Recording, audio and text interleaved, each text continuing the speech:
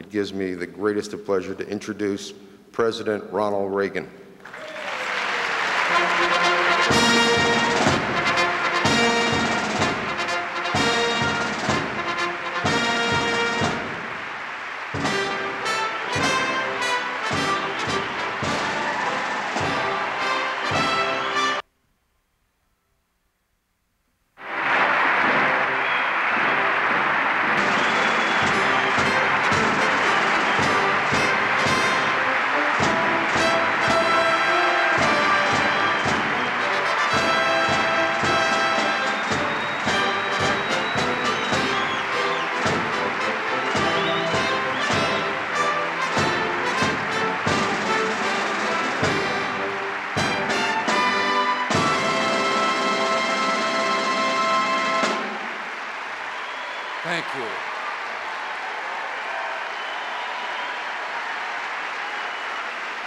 Thank you very much.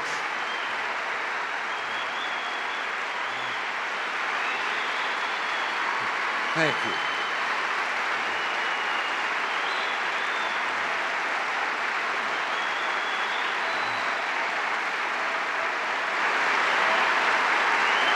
Please be seated. Thank you.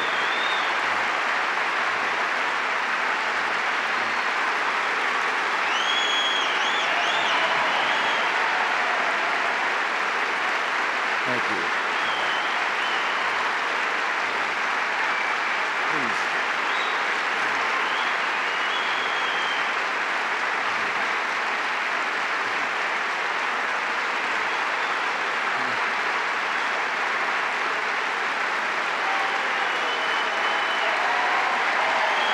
Thank you. Thank you very much. Please be seated.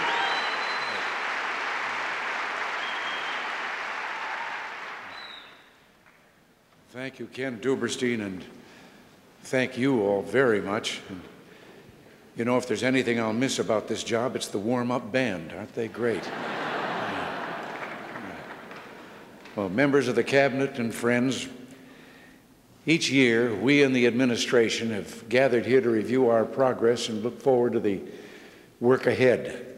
And today, in keeping with that tradition, I want to talk to you about all that we've achieved on the domestic front during our time in office and about some of the unfinished business before the nation.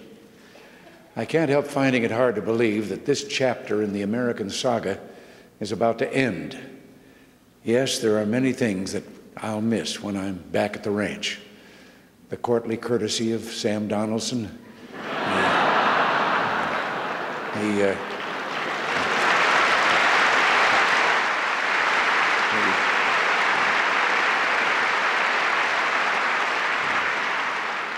the your wish is our command helpfulness of Congress. Yet as soon as I get home to California, I plan to lean back, kick up my feet, and take a long nap.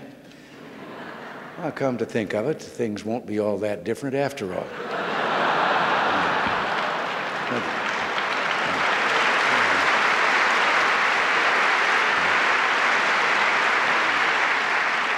But you know, I'll rest a whole lot easier knowing that I've left the White House in good hands.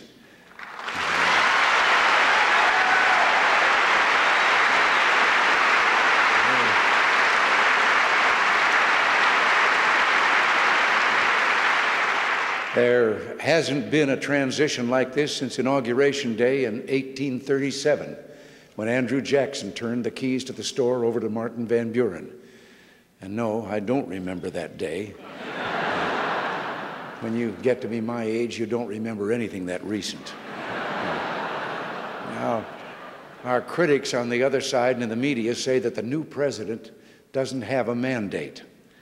But I just can't help wondering if their candidate had been the one to win by the second largest ma- margin of any president running for a first term in more than three de- decades, would they have said that he didn't have a mandate?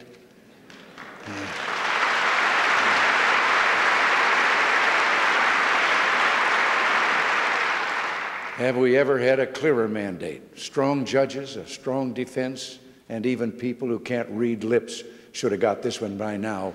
No new taxes.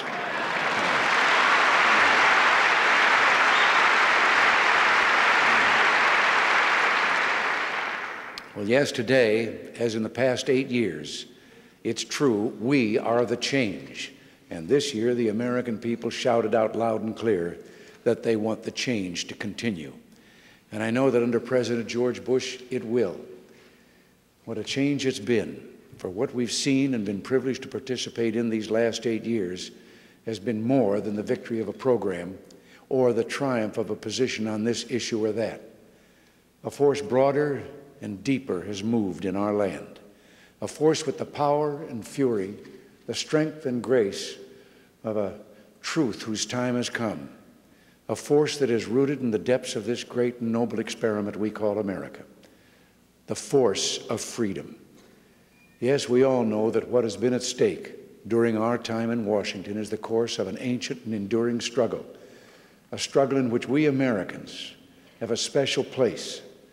At its edges, this struggle is not so much between good and evil, between absolute freedom and immediate slavery, but between hope and despair, between those who shoulder the promise and the burden of freedom and those who would, in the name of a false determinism, take us a mile or two more down that Friedrich Hayek called the road to serfdom.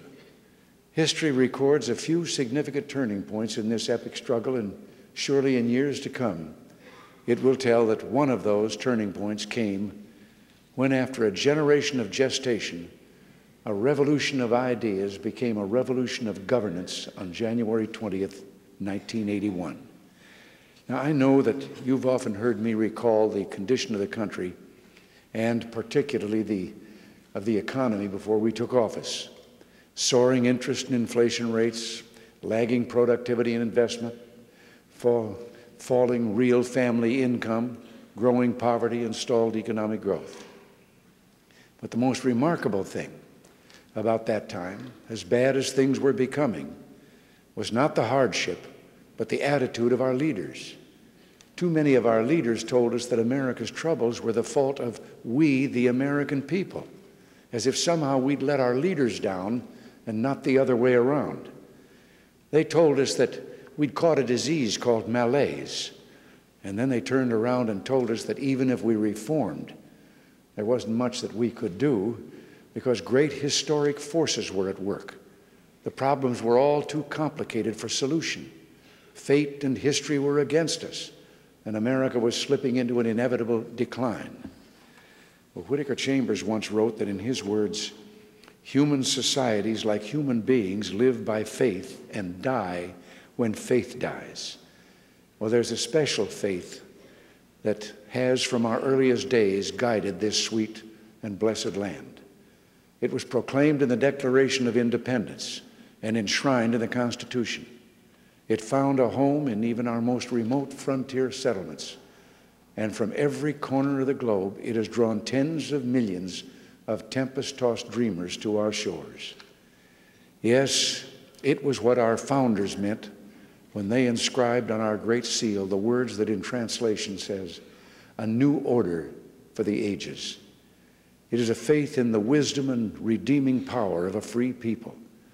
And in saying that America has entered an inevitable decline, our leaders of just a decade ago were confessing that in them this faith had died. Well, that's when the American people rounded up a posse, swore in this old sheriff, and sent us riding into town where the previous administration had said the nation's problems were too complicated to manage? Well, we said, of course they are. So government should stop trying to manage them.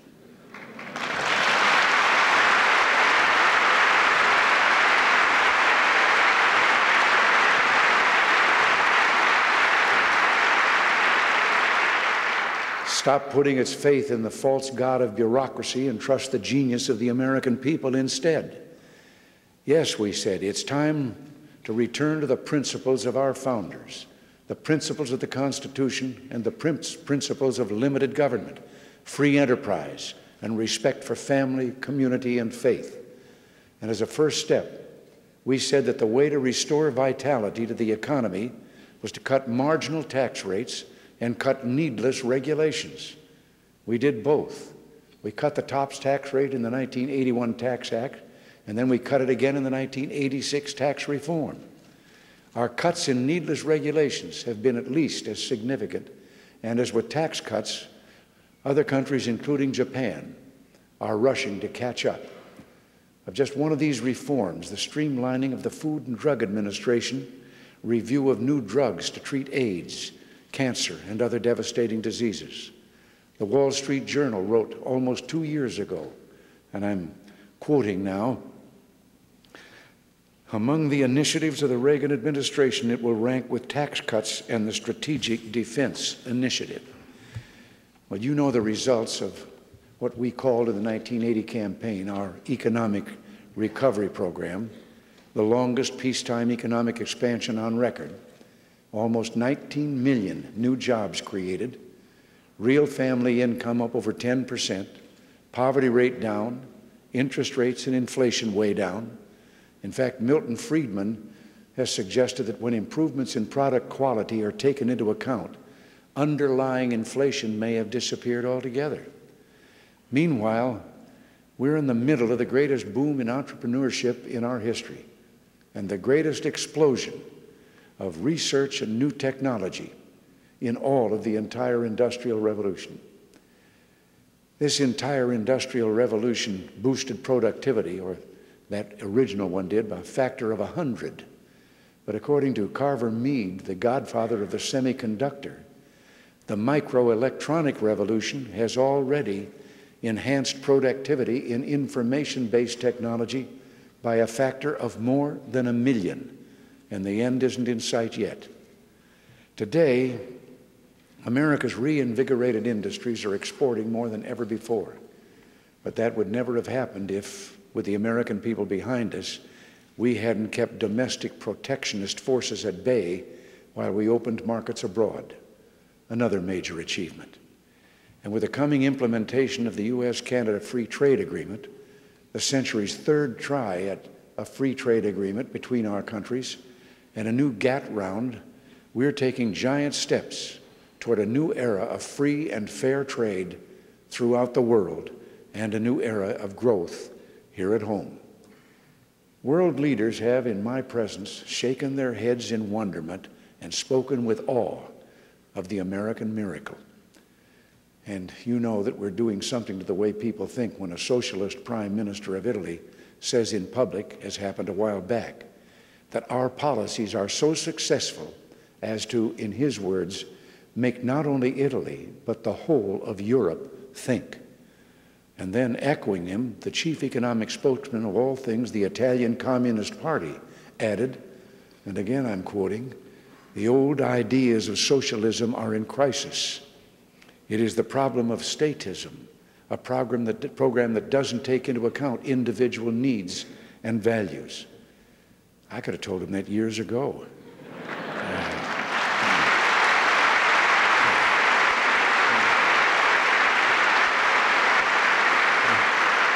Well, here at home again, we worked with a bipartisan coalition in Congress to save a faltering Social Security system on, from bankruptcy to enact a pay as you go plan that helps free the elderly from financial consequences of catastrophic illness and to reform our welfare system. Our welfare system now includes strengthened requirements that fathers help support their children, and for the first time, work requirements for those able to work. At the same time, we prompted even bolder state experiments with welfare reform as well as state experiments with a bright ray of hope for America's poor enterprise zones. And we've begun to test selling public housing units to the tenants who live in them. Now, not everything we did can or should be measured in dollars and cents. Justice is the end of government, wrote Tocqueville. He said we would appoint judges who understood crime, criminals, and the Constitution, and we have as our judicial appointees have begun to fill the bench, federal sentences have grown a third longer than in 1980. And now on the Supreme Court and our appeals courts, we have more and more justices and judges who appreciate the hardships of police work, who can see the distinction between the criminal and the victim of crime, and who know the difference between making the law and interpreting it.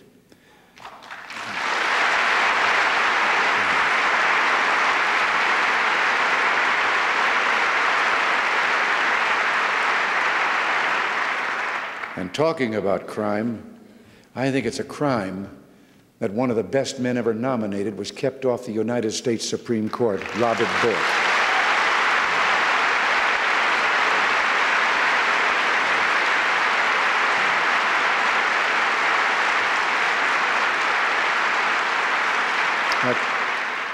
But even so, who knows? Maybe in the next few years, the courts will even figure out what the American people know that the right to abortion is not in the Constitution and the right to pray, including for school children to play, is.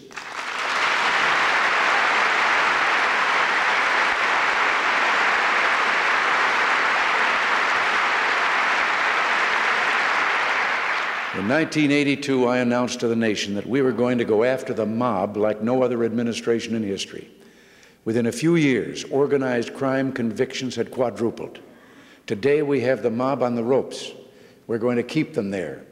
Yes, we launched a war on organized crime and on drugs. Federal drug convictions have nearly tripled. Cocaine seizures are up 1,800%. And it seems as if almost every week of late it brings news of another international roundup of gangsters. We've put the federal government on the side of children and families, going after child pornographers while working with Congress virtually to end federal funding of abortions. We've also issued regulations to ensure that no friendly supported title to 10 family planning program provides abortion counseling or referral. And meanwhile, a certain lady I know has been teaching America's young people to just say no to drugs.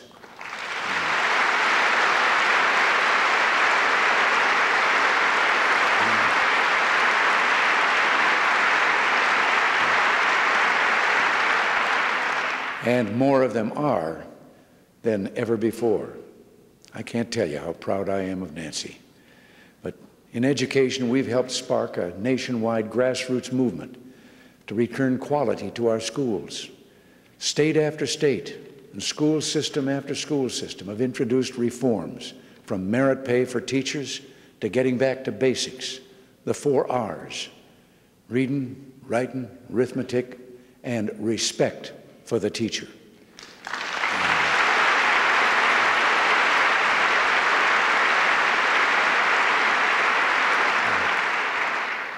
And return an appreciation of fundamental values to America's classrooms. Or as Teddy Roosevelt said, but too many seem for too long to forget, to educate a man in mind but not morals is to create a menace to society. And while our feet have been planted on the ground, our eyes have been turned toward the stars. We have overcome tragedy and pushed forward on such visionary projects as the space station and the space plane, even as we've cleared the way for development of a private launch industry and for the commercial development of space. I believe that the opening of space to the questing dynamism of our free enterprise system may turn out to be among the most significant developments in space exploration since the first landing on the moon. Combine that with the renaissance in private research that our economic policies have spawned and our commitment to fields of research ranging from AIDS-related studies of the immunological system to the superconducting supercollider, and who can doubt that American technology will continue to set the pace for the world in the generation ahead. Yes, from the economy to science and in every other field, We've followed the lead of the American people these last eight years and chosen hope. Like the American people, we've chosen always to stand on the side of family and opportunity and freedom.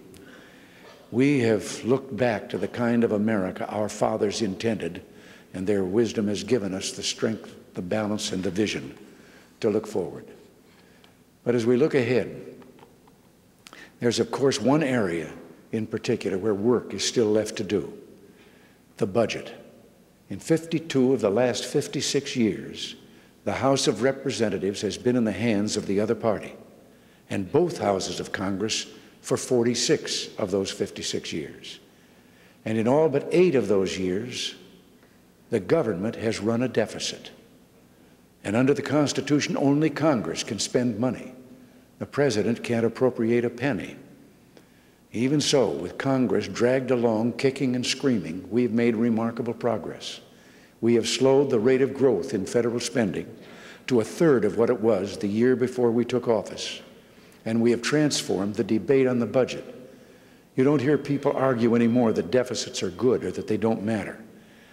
Still, it's no secret that one of my great disappointments as I leave office is that the federal budget itself is not yet balanced.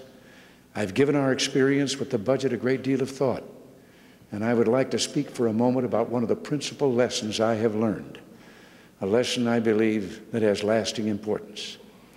It sometimes seems to many Americans that what might be called a triangle of institutions, parts of Congress, the media, and special interest groups, is transforming and placing out of focus our constitutional balance, particularly in the areas of spending and foreign policy. Some have used the term iron triangle to describe something like what I'm talking about. And with apologies to them, I'll borrow that term. A measure of this iron triangle's power derives from its permanence. Administrations come and go, but the members of the iron triangle endure. Even the body that the framers of our Constitution intended to be the most vulnerable to shifts in public attitudes, the House of Representatives, has, with a combination of gerrymandering, changes in campaign finance rules, and the powers of incumbency, become a virtually permanent chamber, no longer truly responsive to the people. With a 98% rate of reelection, there is less turnover in the House than in the Supreme Soviet and a seat in Congress, a seat in.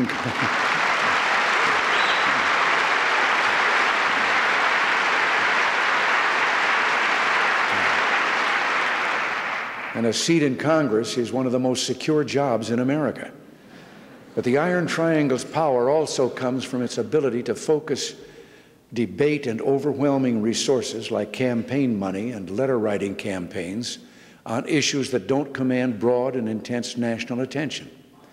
Yes, as I said a moment ago, thanks to us, most liberals are now afraid to discuss new spending, but go one step into greater detail to the merits of this or that restraint on spending. And the Iron Triangle has virtually shut off public debate. Special interest groups focus all their resources and members on this line or that in the budget and members of Congress, particularly liberal members, with their dependence on special interest campaign financing and their fear of bucking any group that is strongly committed to a spending program, take up the banner and join the charge. It helps the special interest that the government spends a great deal of money without Congress ever casting a vote. Now, I'm not talking here about Social Security, but of the many formula spending programs when we came to town, bracket creep let Congress raise taxes without voting a tax increase. With indexing and by beating down inflation, we stopped that. But the same thing has not happened with formula spending. The result is that it's easier for most members of Congress to lay low and do nothing than to take the political heat of voting for a change. You'd think the, the media might act as a check on all this but too often it doesn't. Now, let me say no one who sits in my seat can have anything but the greatest respect for the media and the role they play in our system. But it is also clear that too many members of the media approach issues like federal spending from a superficial perspective. Our positions are reported in caricature. Special interest charges are reported uncritically, and the public's understanding suffers. Shouldn't we expect better of those who act in the name of the public's right to know?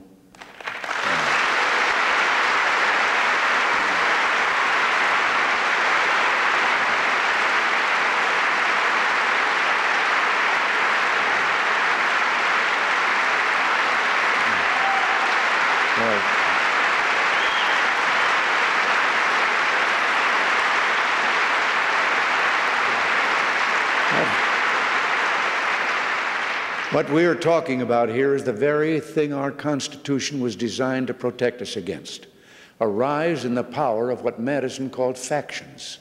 And I believe the budget crisis would not be nearly so serious today had not the Constitution itself been, in essence, rewritten nearly 15 years ago, upsetting the calculus of consent within our system and opening the way for the situation we now have. I'm speaking of the Budget Act of 1974. In a recent article in Commentary magazine, legal commentator L. Gordon Crovitz wrote that the act, in his words, was crafted by Congress to rob the president of the ability to limit spending while making it possible for a fragmented collection of congressmen to spend and at the same time to evade responsibility for doing so. Well, as originally drafted, the 1974 Act would have replaced the President's disciplining role in the budget process with institutional disciplines within Congress. But some complained that the proposed plan would, would quoting a study paper at the time, lock the congressional budget process into a conservative mold for generations to come. Well, Congress fixed that and changed the plan. And while, as I said, we've run deficits for most of the past five and a half decades, the really big deficits started coming immediately after the act was passed, and they've kept right on rolling ever since. Can you imagine a situation where any head of a company or head of a household is forced to spend every dime? But that's the situation the president is in now.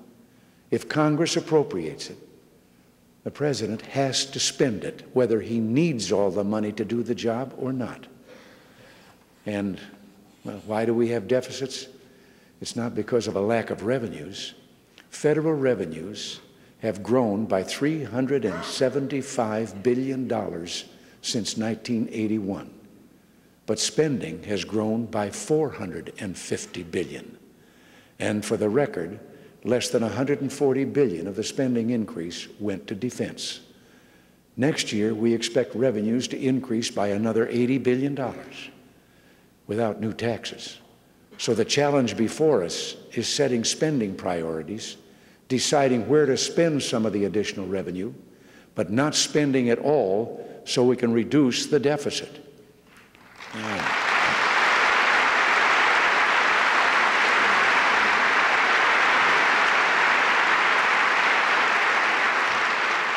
Now, that shouldn't be so hard, but history suggests that Congress will want to spend it all and then some. When I came to office, I found in the presidency a weakened institution. I found a Congress that was trying to transform our government into a quasi parliamentary system. And I found a Washington colony that, through the Iron Triangle, was attempting to rule the nation according to its interests and desires more than the nation's. I've used the President's ability to frame the broadest outlines of debate to compensate for some of the weakening of the office. This year, we also put an end, I hope for good, to the use of monster continuing resolutions to make the congressional budget veto proof. But we have not restored the constitutional balance, at least not fully, and I believe it must be restored. In the long run, the situation we have now isn't good for anyone even the members of the Iron Triangle.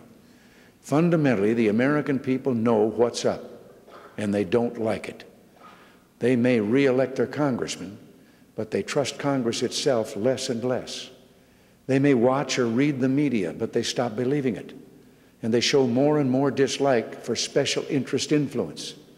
The only question is, when will they say once and for all that they've had enough? The strength of our nation has never been with the Washington colony, but with the American people. The budget deficit is the colony's last stand. In the last eight years, we've taken giant steps toward shutting down their game of tax and spend. We've succeeded as much as we have because even if the American people can't follow every issue that has its day in this city, in the end, they know how the chips are falling. I believe that soon they'll be saying with greater and greater force that it's time to restore our constitutional balance. And I believe that they'll join us in saying that the place to start is with enhanced rescission authority and a line item veto for the president with the budget, balanced budget amendment to the Constitution.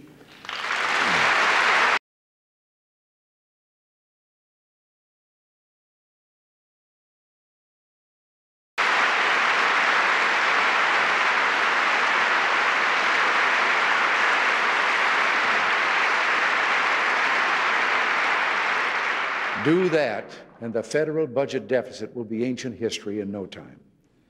As we face the battle ahead, we'll find strength in remembering that we have already fought great battles and great victories, and won great victories. And we should never forget how much those victories mean, not only to America, but to peoples throughout the world.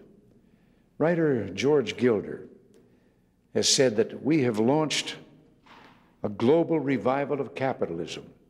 And yes, the days are gone when, for example, a British intellectual like historian A.J.P. Taylor could say that nobody in Europe believes in the American way of life, that is, in private enterprise. Well, now, even in the Soviet Union and the People's Republic of China, our example of private enterprise has an almost irresistible appeal. But our achievement is more than simply economic. In his memoirs of imprisonment in the Soviet Union, Nathan Sharansky tells of how he was taken during a break in his trial to a special holding cell. Think of the hopelessness of one who, despite his courage and conviction, nevertheless knows that years in the gulag are ahead of him and his once normal life is behind.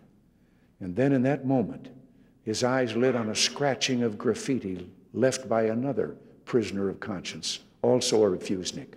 It said simply, Be strong and courageous. And it was signed.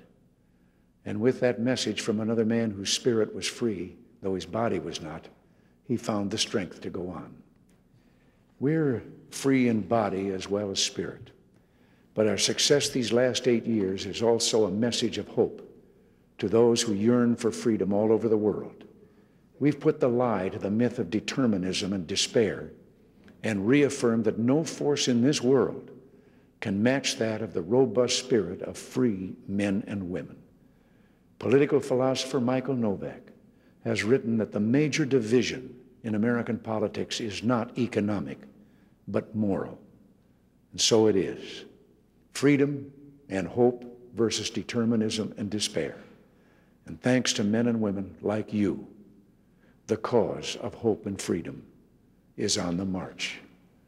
And now, as I prepare to lay down the mantle of office, as I see how far we've come and the transformations we've wrought, and I know who will take my place, I cannot help believe that what Kipling said of another time and place is true today for America. We are at the opening verse of the opening page of the chapter of endless possibilities. Thank you, God bless you.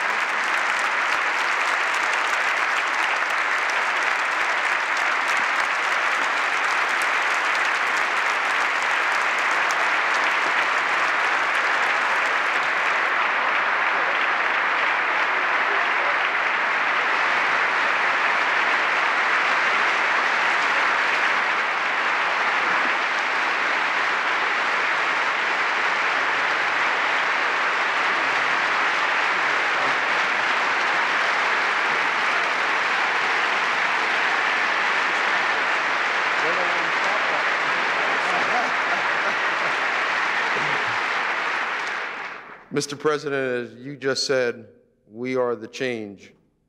And as we say to you, you are the change. Thank you very, very much.